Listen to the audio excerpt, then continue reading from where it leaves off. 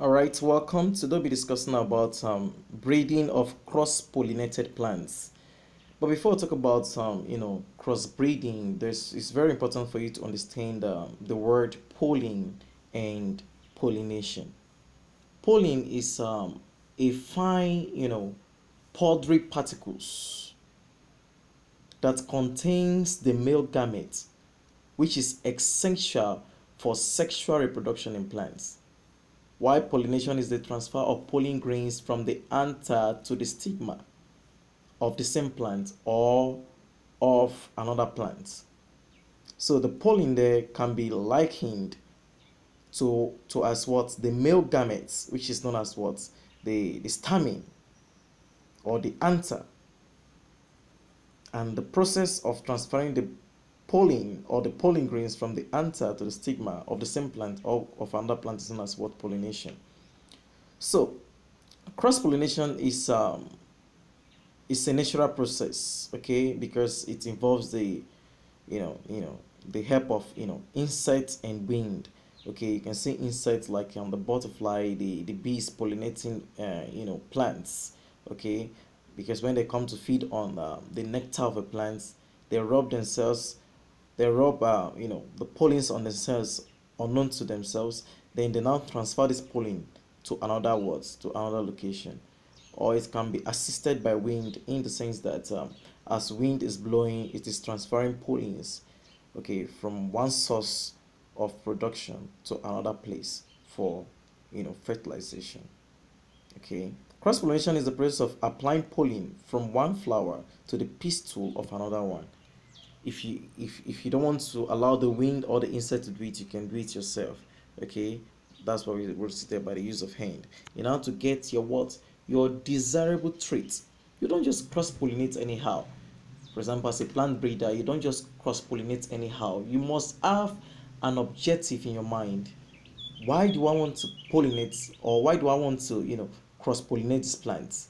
There must be an objective in mind. Maybe, for example, let's take an example. You have um, you have a maize seed, okay, and anytime you plant this maize seed, the maize seed is not sweet but it produces you know many seeds at the end of harvest. The maize seed if you cook it is not sweet but the seeds are many. Now maybe you, you went somewhere you saw another maize seed that is growing. But this time around this maize seed you saw growing the seeds are not many but when you cook it it is very sweet so what do you have at the end of the day you have um, two situations here. You have a maize plant that produces many what that produce many seeds, but the seed is not sweet. Then you have another what maize what plants that produce few seeds and the seed is very sweet. So what do you do as what a plant breeder? Your objective here is to what? To produce an hybrid or to produce a plant at the end of the day that what? The the, the, the, the, the seed will be many and the and the seed will be tasty. So what do you do? You cross pollinate them in order for you to have what? Your desired objective which is known as what? The hybrid.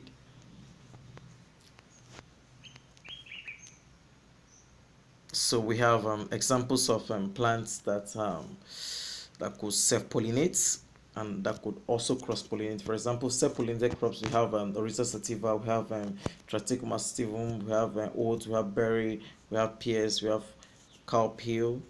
And cross-pollinated plants, we have corn, okay, you have alfalfa, you have radish, cabbage, sunflower, etc., etc.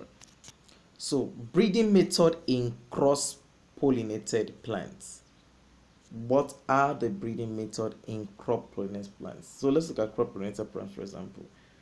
While method for improving self-pollinated species tend to focus on improving individual plants i want you to understand that when you want to self-pollinate or when crops are self-pollinating the aim is to improve what the individual plants.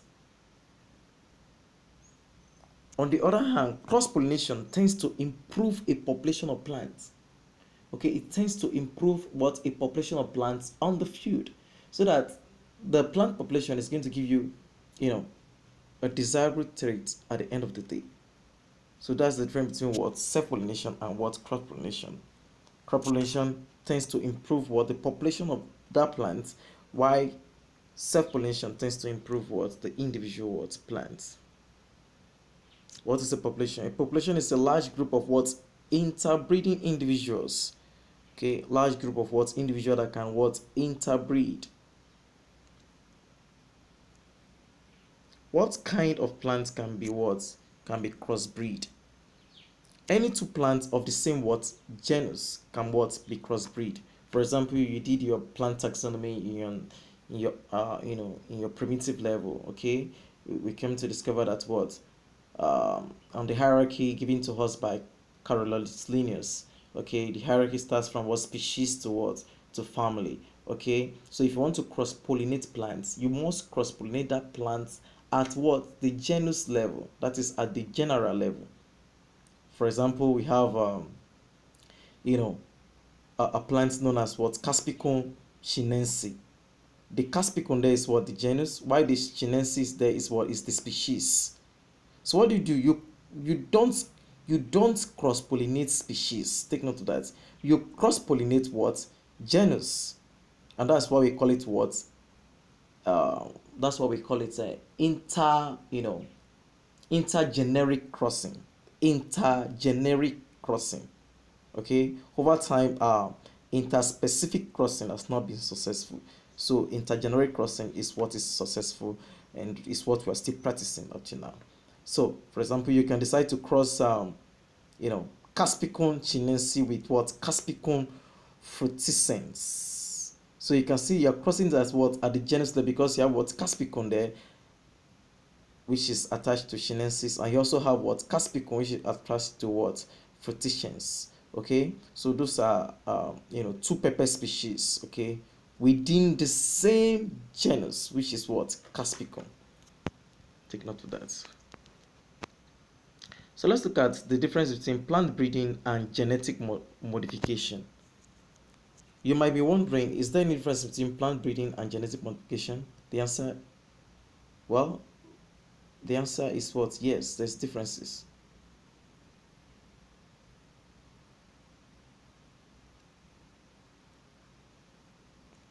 Okay, there's differences. So plant breeding is not the same thing as genetic modification. So in plant breeding, it's a natural um, process of selecting what plants okay? It's a natural process of what selecting plants okay? It could be done by human or it could be done naturally with the help of what wind and what insects. Why genetic modification is done in the lab okay? Which involves what biological modification at cellular level. So in the lab you'll be doing all this kind of um, what we call the in vitro culturing of organisms so that at the end of the day you're going to have what GMO, which is known as what genetically what modified organism. So these organisms are born in the lab. Okay, so plant breeding is different from what genetic what modification. Question: Is plant breeding safe? Standard plant breeding or standard plant crossbreeding is a natural process which occur when pollen transferred are being transferred from one plant to another it is a form of reproduction in plants. Take note that. In mass production crop breeding, procedures are taken to ensure food are safe to consume. Most plants in the world produce at least some level of harmful ingredients. Now, you need to understand that most of these plants that we eat produce some harmful ingredients. So, if you want to know if plant breeding is safe, you must first of all consider the plants you want to crossbreed. For example, plants have uh, you know toxic ingredients which are known as the secondary metabolites or the allelochemicals, which has the saponin, the thionine, okay, the, the glucoside, okay. All the secondary metabolites can be present in some parts or can be present in some you know areas of the plants. Could be present in the roots, it could be present in the fruits, or in the seed. So before you breed, you must first of all study these ingredients in the plants. Okay? So that at the end of the day you don't you don't you don't produce something that is toxic to the environment. Okay? So we have there are less natural form of plant breeding like mutation breeding. Okay? This is a less what natural form of plant breeding like mutation breeding image you know you know you know mutation already in your biology which is what the a sudden change in what in the in the structure of chromosome or in the number of chromosome okay? Now we have chemicals that can cause mutation okay like the phenol the formalin okay? We have um, radiation again from x-ray gamma ray beta ray okay? Even from the x-ray machine in the hospital all those radiation can cause mutation. So if you want to practice mutation breeding must be very careful because if you mix this chemical for example if you mix phenol now you will see for example you put um you know a petri a petri dish then you pour phenol inside. Then you now pour seeds of a plant let's say seed of soya beans inside. We already know that the phenol there is going to alter the gene of what? That soya beans so you must be very careful. Is the alteration going to be is it going to be okay is the chemical going to be okay for human consumptions is the alteration healthy for human all those questions need to be taken into consideration before you go into mutation breeding because mutation breeding is very dangerous. So let's look at the most important method of breeding cross-pollination plants. What are the most important method of breeding cross-pollinated plants? We have number one method is mass selection. Number two method is developing development of hybrid variety. Number three is development of synthetic variety. Since cross-pollinated species are naturally hybrid, yes, because the, the objective of you cross-pollinating plants is for you to have hybrid. That means what? Genetically what? Modified species. Okay? Which maintain heterozygosity for many traits and loses vigor as it becomes what pure breed. Now, over time, cross-pollinated plants they lose their vigor, they lose their capacity to, you know, you know, to be viable. If they they, they become you know pure breed, that means if they if they maintain that line for so long, if they if they if they you know stay keep if you keep planting them for so long, they become what pure breed. That means they become homozygous for a specific trait. So in this case, they lose their word viability. And the goal of you as a breeder is to restore that plant to its what heterozygosity. That means is to restore that plant to, you know, the plant having ability to maintain varying what traits or many traits. So mass selection in cross-pollinated species take the same form as in self-pollinated species. How? You select what? For example, if you plant crops, you know that, for example, if you plant maize, on the field, it's not all the maize that will do well. Some will do very, very well. Some will not do well. So what do you do in mass selection is to select those ones that will do very well. Select them. Select them. At the point of harvest, you select, you select those ones that that, that, that have bigger comb, that have many seeds inside. Those ones are superior variety. Select them and plant them in another year. So that kind of selection is known as what? Mass selection. Then the next one is um, hybrid variety. So the outstanding example of the exploitation of hybrid vigor through the use of F1 hybrid variety has been with corn. The production of hybrid corn varies in three steps okay now now this hybrid variety basically is uh, when you cross-pollinate plants the, the, the, the aim of that cross-pollination is for you to have hybrid variety at the end of the day which is different from what from the original what parents. Now take note of this. Much of the hybrid vigor exhibited by f1 hybrid is lost in the next generation. Now listen. After you cross pollinate two crops at the same genus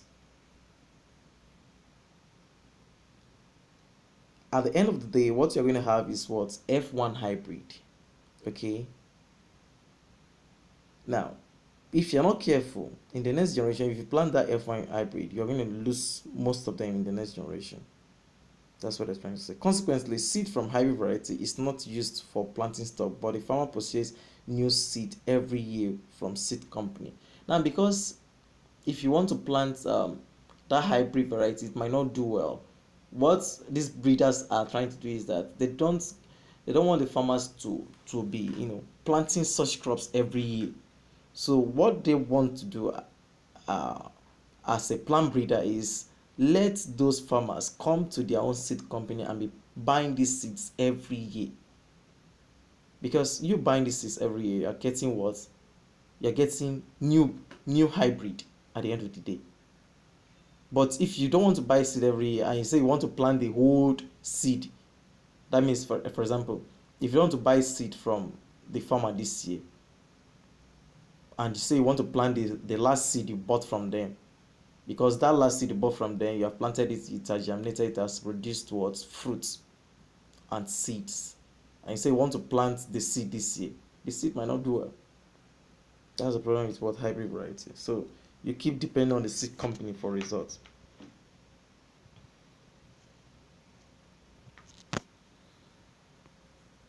Synthetic varieties. Synthetic varieties is developed by intercrossing number of genotypes of no spiro combining ability. How do you get synthetic variety?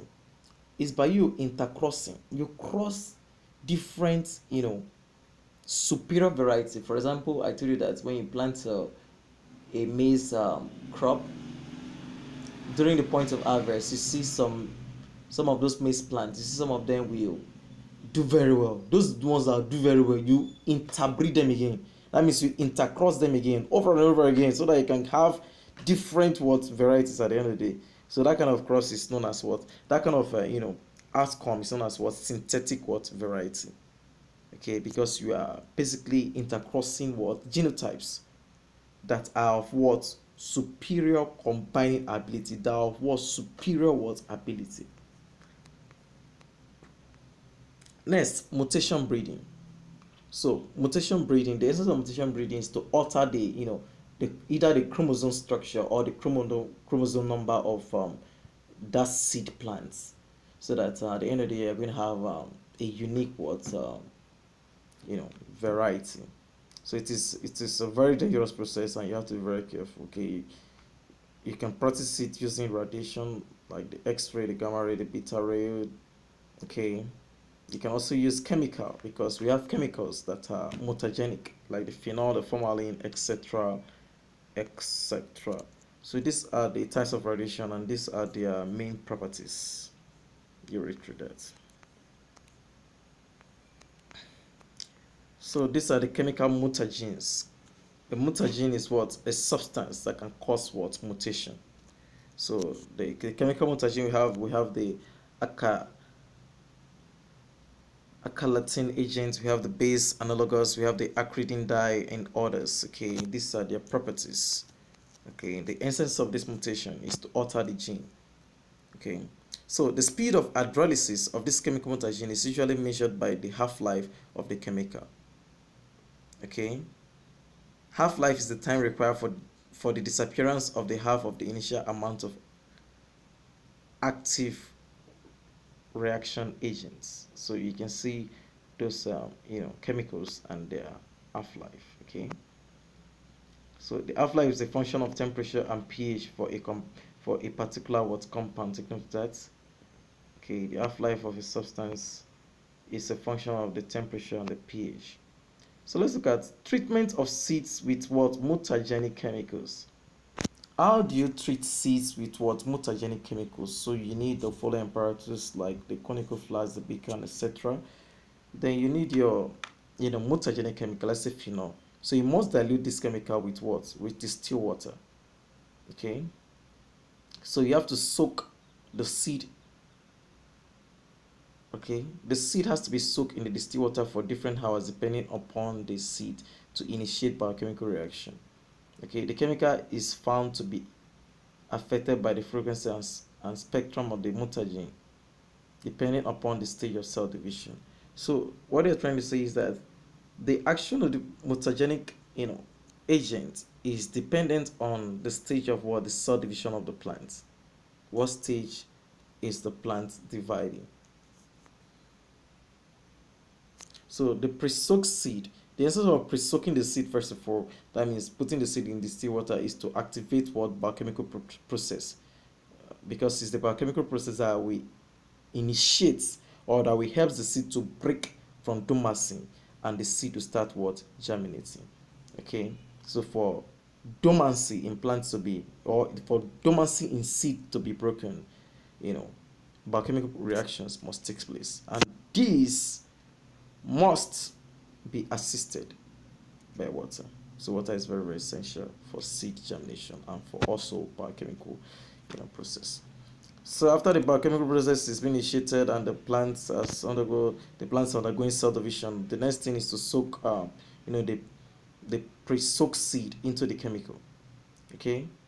Usually the quantity of the chemical is 10 times the volume of the seed. You have to take note that. You can decide to soak it for 30 minutes for one hour depending on the, your experiments. So then for example for then after then you have to plant the plants then you have to observe the growths okay? So how to cross-pollinate two plants? How do you cross-pollinate two plants?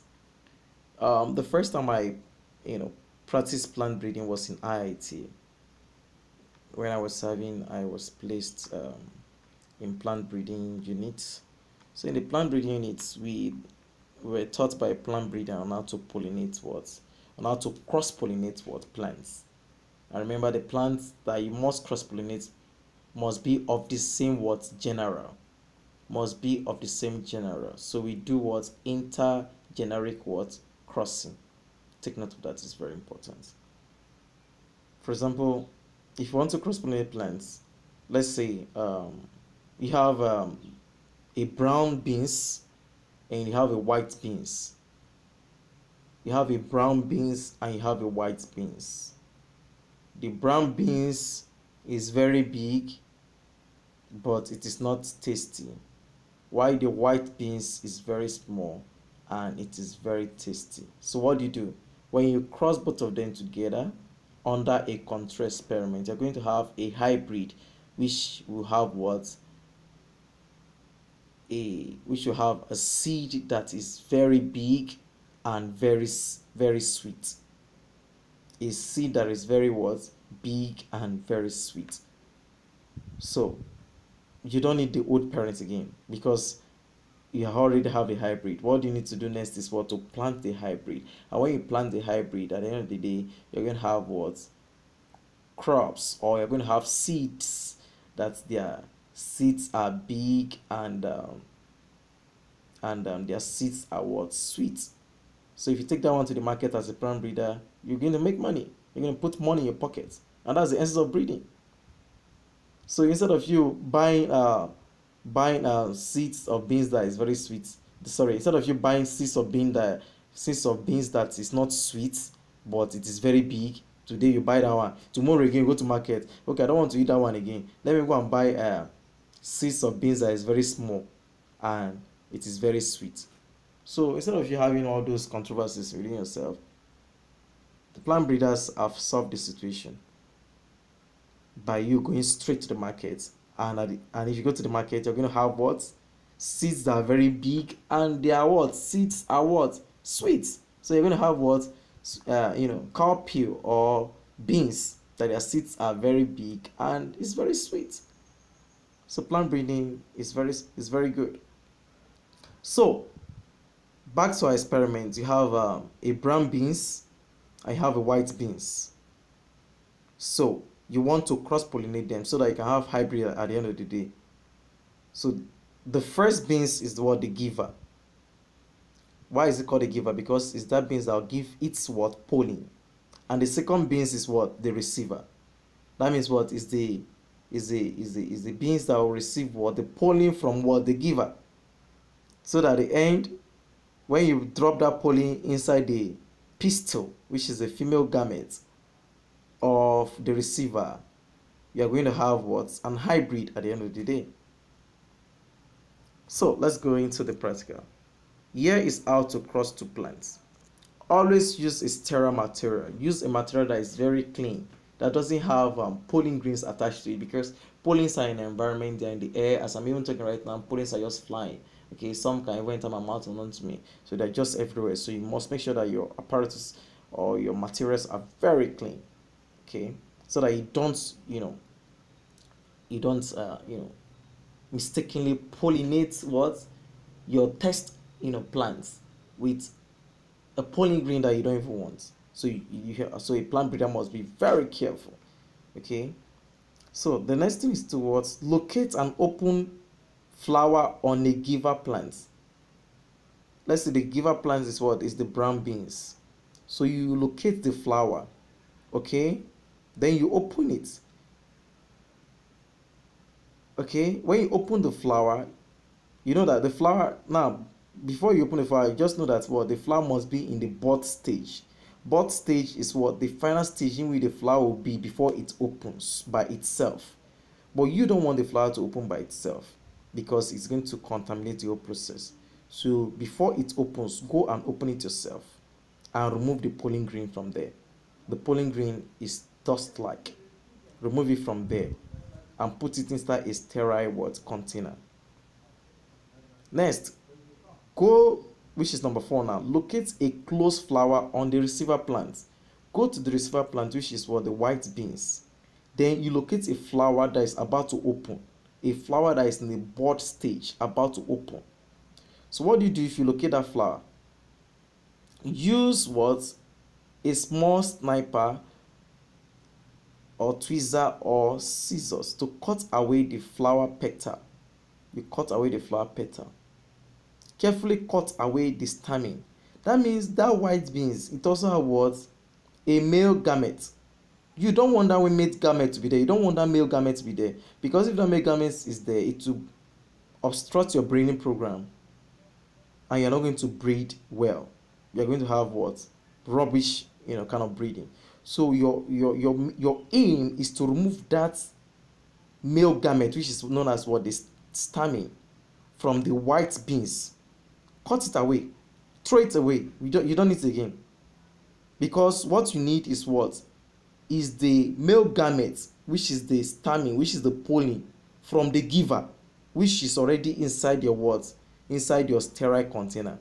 That is what you need. You don't need the male gamete in the white maize again. No, no, no.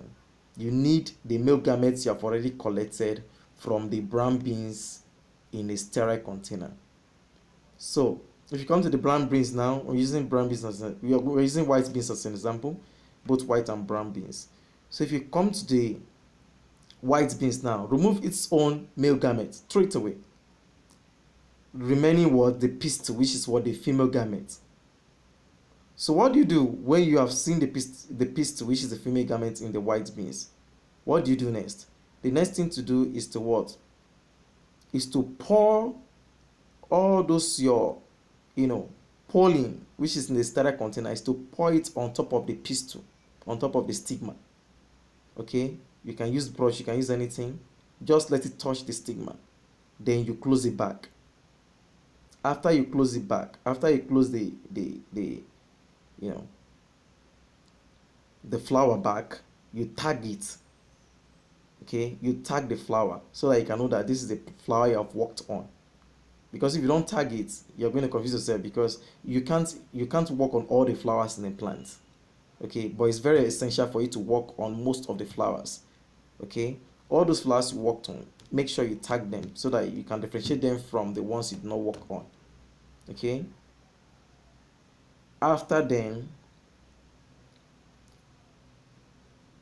tagging is known as labeling. Then after the number eight now, reverse the process so that the receiver and the giver reverse notes. Now you can decide to change the process, but if you don't want to do it, you can just leave number eight.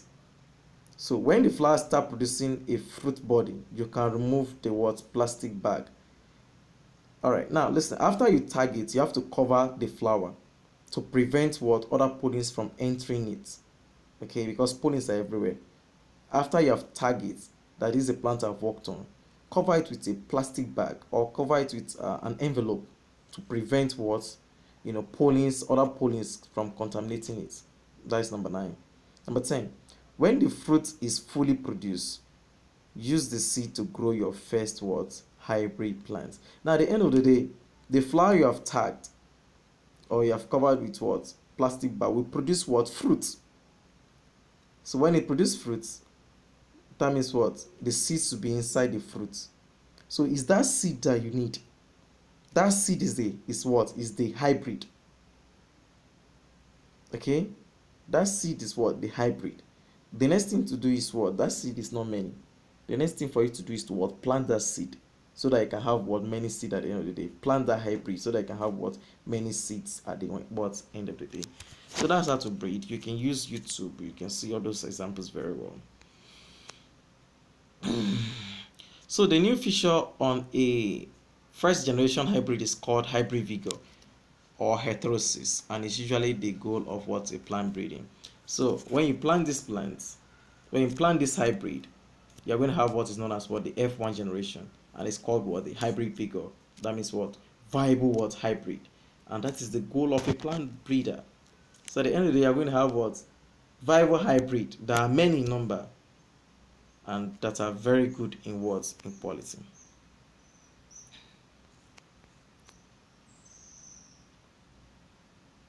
So, hybrid vigor or heterosis are the improved characteristics of hybrid plant variety when compared to what the two parent plants. So if you want to compare this hybrid I have to the plants you have crossed, you know that what this hybrid is better because it has increased size it has faster growth rate it is sweet okay compared to the original what two plants or compared to the parent plants so what is heritability? Heritability is a measure of how well differences in populations gene account for differences in traits. Traits could be height could be intelligence as well as disorder like um, you know chromosomal abnormality. So heritability has historically been estimated from study of twin identical twin has almost no differences in their dna while fraternal twins share on average 50 percent of the dna if a trait appears to be more similar in identical twin than the fraternal twin genetic factors likely play an important role in determining such traits. By comparing traits in identical twins with fraternal twins, researchers can calculate and estimate what their heritability. What I don't to say, heritability is a function of what genotype, and also it's also a function of what the environment. Heritability can give initial clue as to the relative influence of what nature and nurture.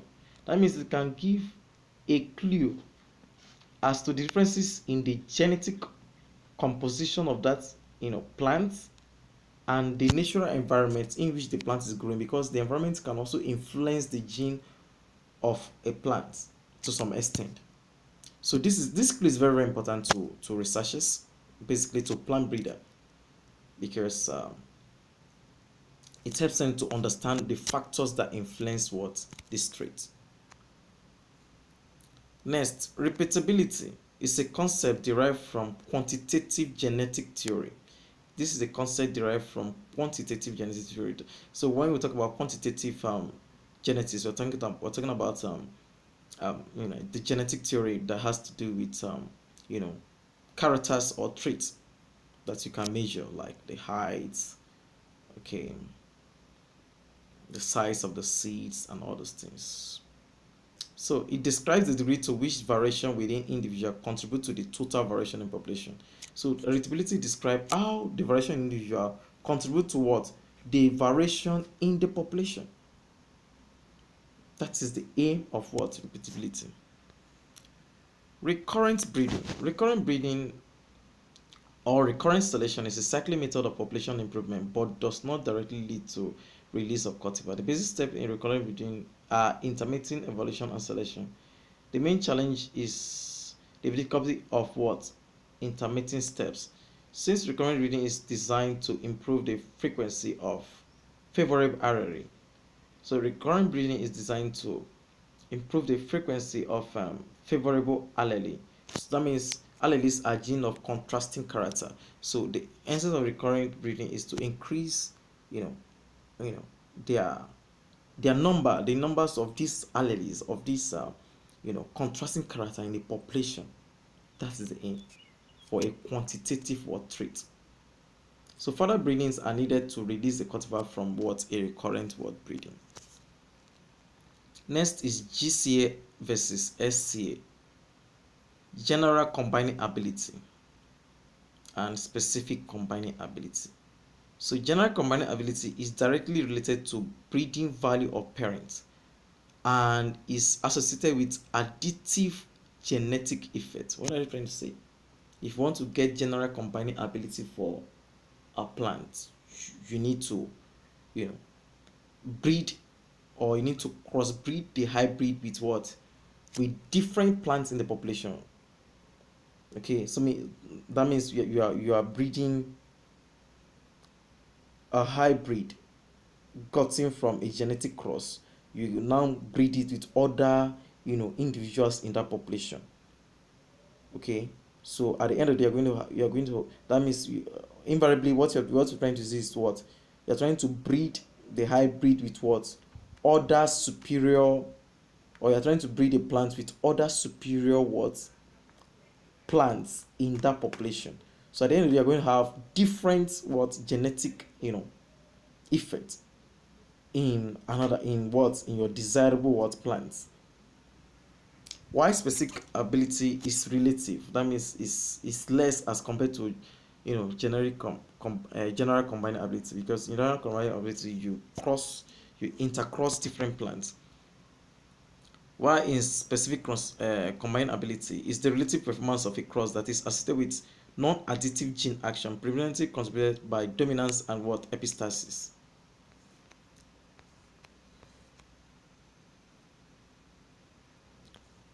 So if you want to select selection for general and specific combinability, there are reasonably good reasons or good solutions to some of these you know problems above, but almost none of none for others. Some of the questions which are involved are so if you want to select for either specific or general combinability, you must first of all ask yourself this question. Given a particular set of record, how can one best estimate the general combinability of individual family or line? And how can one best estimate the value of progeny of a specific cross between family or inbreed line? What proportion of the breeder resources should be put into a testing program? Having decided on the size of the testing program, what kind of test should be adopted? What relative emphasis in selection should be placed on general as compared to specific combinability. How much inbreeding should be done in the making of line? How fast should the line be made? So you need to ask yourself all this question. Thank you so much for listening and have a wonderful time.